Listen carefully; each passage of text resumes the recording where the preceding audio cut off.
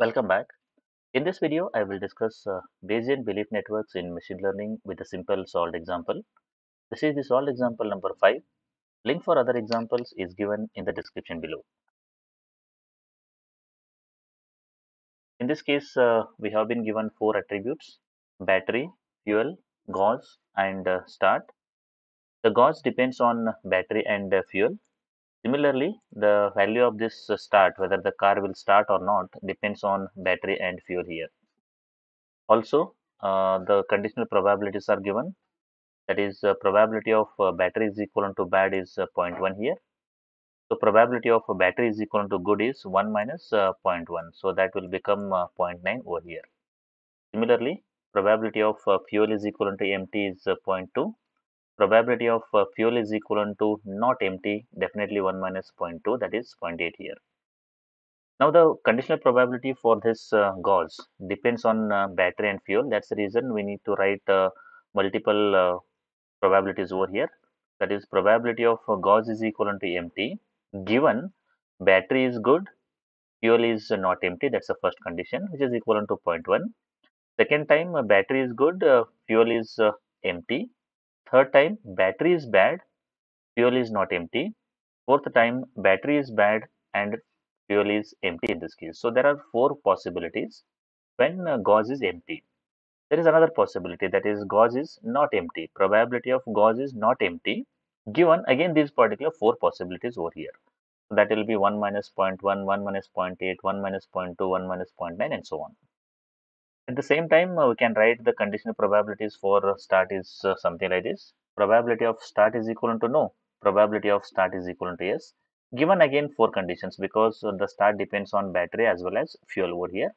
And these are the probabilities given to us. Given these particular probabilities, we need to answer few questions over here.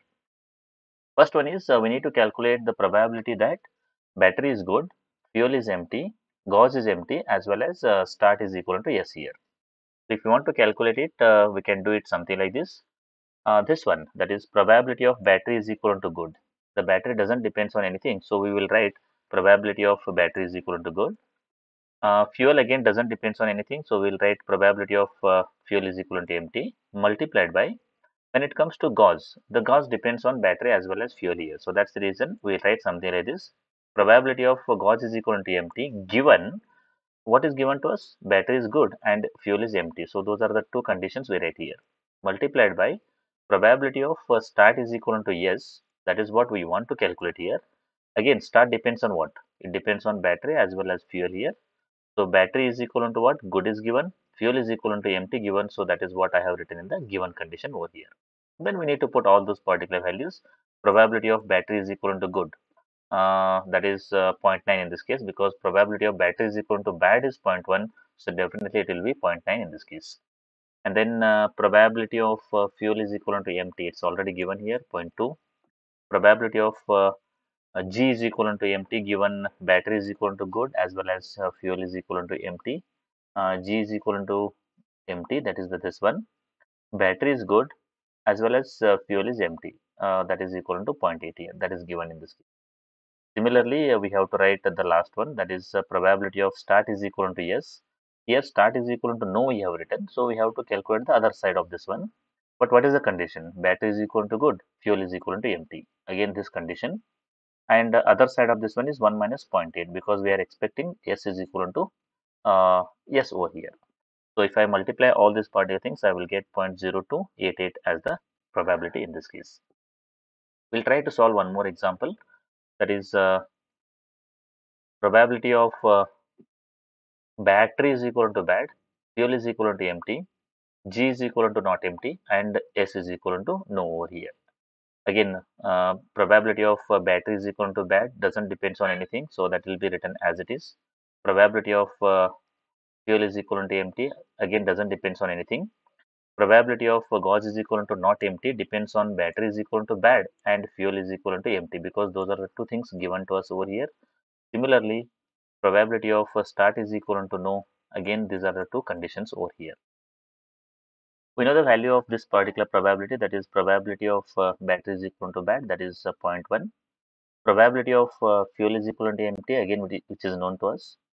probability of gauge is equal to not empty. We have written empty here, so we have to write the other side of this one. But what is the condition? Battery is equal to bad and fuel is equal to empty. That is this condition. The other side of this one is 1 minus 0.9 that will be 0.1 over here. And last one is uh, start is equal to no. Uh, this thing that is 1 over here. So if I multiply everything I will get 0.002 in this particular case. Coming back to the last question, given that battery is bad, compute the probability that the car will start. So what we want to calculate?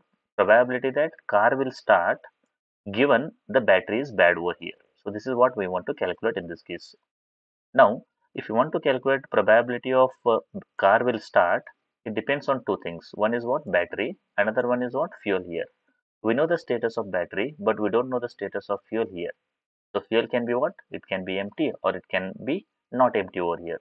So that's the reason we can write it something like this. Probability of uh, S start is equal to S given battery is equal to bad that's for sure. But we don't know the status of this particular fuel. So that's the reason we will write alpha here and this can be either uh, empty or it can be not empty over here. And if you want to calculate this particular probability of bad, it doesn't depends on anything. So it will be probability of uh, battery is equal to bad and the probability of fuel is equal to alpha here. Again alpha because we don't know the status here. So if you want to calculate the start so probability of start given battery and fuel and then the probability of battery and probability of fuel over here. Only condition is uh, we don't know the status of fuel. That's the reason we have written alpha here. So now we need to replace this alpha with uh, empty and not empty. So i will write it uh, two times. From here to here it will be empty and from here to here it will be not empty. Now we need to uh, put the values for these particular conditional probabilities. If you look at this particular first one, that is uh, probability of uh, start is equal to S, given uh, battery is equal to bad and fuel is equal to empty. So probability of start is equal to S we are expecting, battery is equal to bad and fuel is equal to empty. This is the condition. So what will happen here? Probability of S start is equal to no is 1.0 probability of start will be equals to s is uh, 1 minus uh, 1.0 that will become 0 here. So that will be the first one.